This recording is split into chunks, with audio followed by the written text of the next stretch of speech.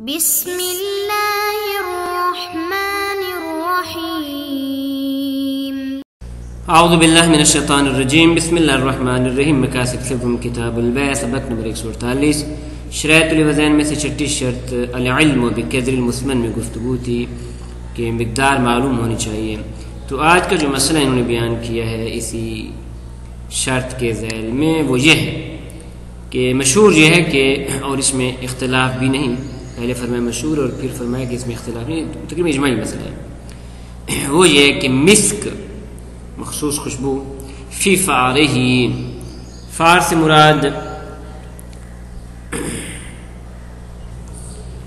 For for سے مراد ہرن کے اندر موجود وہ مخصوص جلد ہے کہ جس کے اندر یہ خوشبو ہوتی ہے۔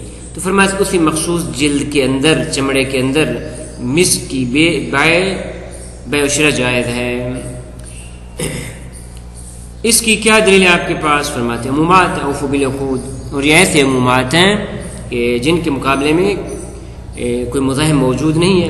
البتہ بعض نے توہم، دو توہم کیے۔ ایک توہم یہ ہے کہ بلاخر نجاست ہے۔ کیونکہ یہ حیوان غیر مذکہ ہے، تو جب غیر مذکہ ہے تو اس کی زندگی میں اگر کوئی چیز اس سے جدا ہو جائے تو نجیس ہے۔ تو پس یہ بھی نجیس ہے اور بے نجاست صحیح نہیں۔ فرماتے ہیں، نا، باب نجاسات میں اس کے بارے میں نصب بھی موجود اور اجماع بھی موجود ہے کہ اس کی بے شرا میں کوئی حرج نہیں ہے۔ دوسرا بات نے کہا کہ مجہول ہے۔ مقدار مس کی اسفار کے اندر مجہول ہے۔ اذا غیر لازم آتا ہے۔ تو اس کا جواب انہوں نے ذکر کیا ہے کہ فرماتے یہ فقط احتمال ہے۔ لذا احتمال کی بنیاد پہ غرر کو قبول نہیں کر سکتے اور یہ کہ اصال صحت کافی ہے دفع غرر کے لیے۔ لذا فرماتے ہیں، مسئلہ المشہور من غیر خلاف ایسا مشہور کہ جس میں اختلاف بھی نہیں ہے۔ یوز کر بیان کیا گیا کہ جواب و بیل فی فارہی مسک کا فار میں یا فار میں بیچنا جائز ہے۔ فار کیا ہے؟ والفار بالحمزہ پڑھیں، فار۔ قیلا جم فارہ۔ فرمت ایک قول ہے کہ یہ فارتن کی جمع ہے۔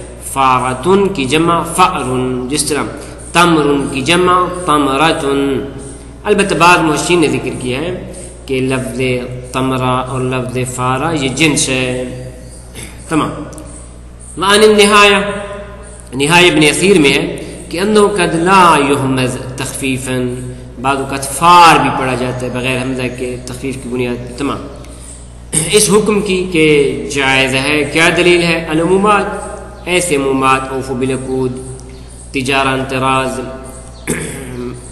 الغیر المزاحمہ بما یسر للتخصیص، کہ جن کی مزاحمت کو ایسی چیز نہیں کرتی کہ جو اس کی، اس کو تخصیص دینے کی صلاحیت رکھتے ہوں۔ بس محکم ہے یہ ادا، تب اگر دو، تب موجود ہے نمبر ایک، تب ہم النجاسہ، کہ یہ بالآخر نجس ہے، کیونکہ حیوان غیر مذکہ سے جدا ہو رہی ہے۔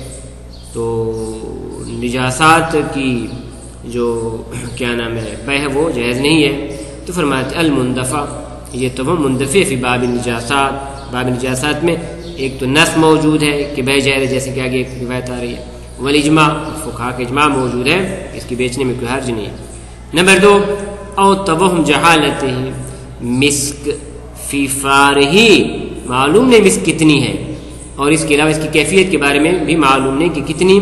خوشبو ہے، اس کی کم ہے، زیادتی ہے، زیادہ ہے۔ تو فرماتے ہیں، یہ جو توہم ہے بنان علامہ تقدمہ من احتمال عدم العبرا بے صالت الصحہ، فی دفل غرر کہ یہ جو جہالت ہے، وہ اس بنیاد پہ کہ جیسے پہلے گزر چکا، کہ فرماتے ہیں اصال صحت معتبر نہیں دفع غرر کے لیے۔ تو تو جہاں پہ ہم اصال صحہ کو لاگو نہیں کر سکتے، تو جب اصال صحہ لاگو نہیں ہوگا، تو بس غرر موجود ہے۔ اور بغری جائز نہیں۔ ویندفع بما تقدم۔ لیکن یہ جو توہم ہے اس کو مندفع اس طرح کر سکتے ہیں کہ من بناء العرف الاصل فی نفی الفساد، کہ عرف جو بنا رکھتا ہے اصال صحت پہ، وہ نفی فساد کے لیے، نہ نفی جہالت کے لیے۔ کیونکہ مقابل فساد کے وہ ہوتی ہے۔ اسی طرح وہ بنا الاصحاب، اور اس طرح اصحاب کی بنا بھی موجود ہے، کس طرح؟ کہ العدم التزام الاختبار فی الاوصاف التي تدور مع الصحة، فرماتے ہیں وہ اوصاف کے صحت اور ان کا فاسد ہونا، ان کے ارد گرد گھومتا ہے، تو ان کو ضروری نہیں کہ آپ اس صورت میں کیا کریں؟ اختبار کریں۔ بنا بری اختبار کر کے اس غرض کو ختم کیا جا سکتا ہے۔ لیکن کا خبیر۔ لیکن شیخ پھر ان کا جواب دیتے ہیں کہ یہ جو آپ نے جواب پیش کیے ہیں، فرماتے بأن هذا كله یہ تمام۔ یہ جو آپ نے ایک بنا عرف رکھی ہے اور اس میں بنا اصحاب جو رکھی ہے، فرماتے حسن لدفع الغرر۔ یہ اچھا ہے دافع غرر کے لیے، لیکن کون سا غرر؟ فرماتے الحاصل من احتمال الفساد۔ وہ غرر کہ جو اس بنیاد پہ حاصل ہو رہا ہو کہ آیا یہ چیز فاسد ہے یا صحیح ہے، تو وہاں پہ آپ بنا عرف اور بنا اصحاب کو لے سکتے ہیں اور غرر کو منت- منتفع کر سکتے ہیں۔ لیکن اما الغرر من جهة التفاوت، افراد الصحیح الذي لا يعلم الا بالاختبار فلا رافع۔ لیکن اگر غرر اس جہت سے ہو کہ ایک چیز جس کے مختلف افراد ہیں، اچھے برے افراد موجود ہیں کہ مسک کتنی اچھی ہے تاکہ اس کی یہ قیمت لگائی جائے۔ تو پس یہ فساد اور صحت والا احتمال نہیں ہے بلکہ یہ افراد صحیح اور ان کی کیفیت کے اعتبار سے فرماتے ہیں، یہ غرر ختم نہیں ہو سکتا۔ مگر اختبار کی صورت میں اذا فلا رافع لہو، یہ غرر بنا عرف اور بنا صاحب سے ختم نہیں ہو سکتا۔ البتہ، نام کے دروبیہ فی التذکرہ مرسل صادق علیہ السلام۔ علامہ ہلی رحمۃ اللہ علیہ نے ایک روایت نقل کی، امام صادق علیہ السلام سے روایت مرسل ہے کہ جوازو بیعہ یا جواز بیعہ اس کی بے جائز ہے۔ لیکن جہاں پر بھی اشکال ہے کہ جواز و بیع ہی بے جائز ہے، تو جواز بے کس بنیاد پہ ہے؟ آیا امام نے فرمایا، فار کے اندر بیچنا جائز ہے، یہ تو نہیں پتا۔ لیکن لا یعلم ارادت ما فی الفارا اس سے یہ معلوم نہیں ہوتا کہ فارا کے اندر جو مسک ہے، اس کا بیچنا جائز ہے۔ ممکن ہے ٹوٹلی طور پہ پوچھا گیا ہو۔ امام سے کہ یہ جو مسک ہم بیچ رہے ہیں کہ جو مثلا فار کے اندر ہے اور یہ نجس ہے، تو امام نے فرمایا جائز ہے۔ ممکن ہے احتمال یہ ہو کہ جناب نے فرمایا اس کی بے جائز ہے۔ اگرچہ نجس کیوں نہ ہو۔ کئی فقار میرا جیسا بھی ہو۔ فیضا فرض انہ لیس له اوصاف خارجیہ ایک ایسی چیز ہے جس میں مسک ہے کہ اس کے اوصاف خارجی موجود نہیں کہ جو رف بہ الوصف کہ جس کی بنیاد پہ اس وصف کو پہچانا جا سکے کہ جس کا، جس کی قیمت میں مداخلت ہے، جس کی بنیاد پہ قیمت میں کمی اور زیادتی ہوتی ہے۔ جیسا کہ پہلے بھی بیان ہوا تھا کہ اس صورت میں اختبار ضروری ہے، کیونکہ یہاں پہ اوصاف کی بنیاد پہ قیمت میں تبدیلی ہو رہی ہے۔ بنا بنی فل احمد ما کرو ہو لذا احمد یہ جی، اگرچہ فتویٰ نہیں دیا انہیں احمد یہ ہے کہ جو کچھ فقہا نے ذکر کیا کہ من فتح بدخال خیت فیہ بیبرا کہ اس فعل کے اندر داخل کیا جائے، ایک دھاگا سوئی کے ذریعے ابرا سوئی کو کہتے ہیں۔ ثم اخراجہ پھر اس کو نکالا جائے وشمہ اور اس کے بعد اس کو سونگا جائے کہ جہاں سے اس کی خوشبو کی کیفیت معلوم ہو سکتی ہے یعنی اس بنیاد پہ اس کی قیمت تعین ہو سکتی ہے۔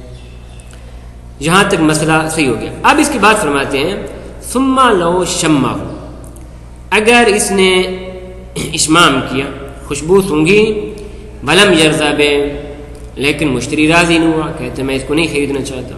تو اب بلاخر نقص تو داخل ہوا۔ تو یہ نقص، اس کا ضامن کون ہے؟ مشتری ہے یا بائے ہے؟ یہ مسئلہ چھڑا ہے۔ تو فہل یزمن حاض النقص الداخل علیہ یہ نقص کہ جو اس مبی میں داخل کیا گیا ہے من جہت الفتق فتق کی وجہ سے اس میں دھاگا ڈالنے کی وجہ سے لو فرض حصول ہو فی ہے اس بنیاد پہ کہ اگر نقص اس میں حاصل ہو جائے، بلو بے کون ہی جزن اخیراً۔ اگرچہ یہ نقص اس بنیاد پہ کہ یہ آخری جز تھی، لے سبب نقص نقص کیا۔ کیونکہ پہلے دھاگا لایا گیا، وہ دھاگے کو ڈالا گیا، پھر نکالا گیا، پھر مثلا دوبارہ ڈالا گیا، وغیرہ وغیرہ۔ تو بالآخر نقص پیدا ہوا۔ اور یہ نقص پیدا ہو رہا ہے مشتری کی جانب سے۔ تو اس کا کون ضامن ہے؟ بلو بے کون جزن اخیراً اگرچہ یہ نقص اس بنیاد پہ ہے کہ یہ جز اخیر تھی سبب نقص کی۔ کس طرح؟ کہ بیان فاتح کا قبل بید خال خیت ولیبر مرار اس سے پہلے بھی اس کے اندر دھاگا ڈالا گیا۔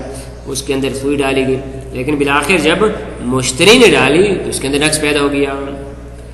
تو اس زمان کے بارے میں فرماتے ہیں واج واج ہے۔ لیکن یہ وج مبتنی ہے اللہ زمان نقص فی المقبوض بسوم وہ اس مسئلے کے حساب سے کہ جو مسئلہ بسوم ذکر کیا جاتا ہے، کس طرح؟ وہ اس طرح کہ ایک شخص نے دوسرے شخص مشتری نے مبیلی بائے سے اور اس کے بعد پھر اس کا اختبار کیا گیا۔ تو اختبار کے بعد اور کسی قسم کی تفرید بھی نہیں ہوئی مشتری کی جانب سے۔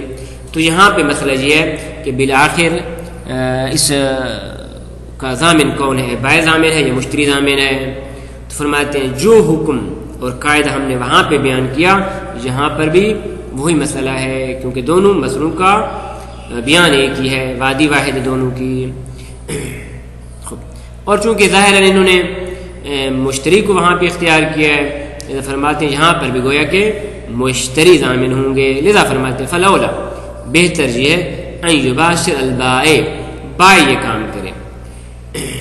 سوئی اس کے اندر بائے ڈالے، فیشم المشتری الخید اس کے بعد مشتری اس دھاگے کو سونگے اور اس کے بعد تعین کرے۔ تمام شو اگلی فر یہاں پہ بیان ہو رہی ہے۔ ثم ان الظاہر من علامہ آدم جواز بے لولو فی صدف۔ موتی کو صدف کے اندر بیچنا علامہ فرماتے جائز نہیں ہے، کیونکہ غرر لازم آتا ہے۔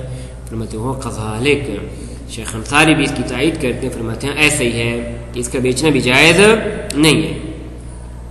اسی طرح علامہ نے ایک اور فر بیان کیا وہ سر رہا وہ وہاں وہاں پہ ضرور تو یہاں پہ سراحت ہے کہ بے آدم جواز بیل بیز فی بطن دجاج مرغی کے پیٹ میں انڈے کا بیچنا فرماتے جائز نہیں ہے۔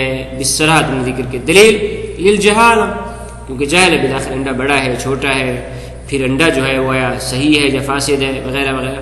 تو مجہول ہے مبی لہذا جائز نہیں ہے۔ شیخ انصاری فرماتے وہ حسن. ان کا یہ قول بھی اچھا ہے، لیکن شرط اضالم یورف لذالک الدجاج فرد معتاد من البیز بشرط کہ معلوم نہ ہو کہ دجاج کا جو انڈا ہے، یہ کیسے ایک دفعہ پتہ ہے کہ یہ مرغی کے انڈے اس مقدار کے ہوتے ہیں، چھوٹے ہوتے ہیں، بڑے ہوتے ہیں، تو پھر تو جہالت موجود نہیں ہے۔ لیکن اگر ایسا معلوم نہ ہو کہ اس کا کوئی فرد عادی نہیں ہے بحث کا، من حیث القبر و صغر کہ بڑا ہوتا ہے، کبھی بڑا دیتی ہے اور کبھی چھوٹا انڈا دیتی ہے، تو فرماتے ہیں اس صورت میں بہتر یہ ہے کہ عدم جواز کے قیل ہوں، وصلی اللہ علیہ محمد اہل بیت الطیبین الطاہرین۔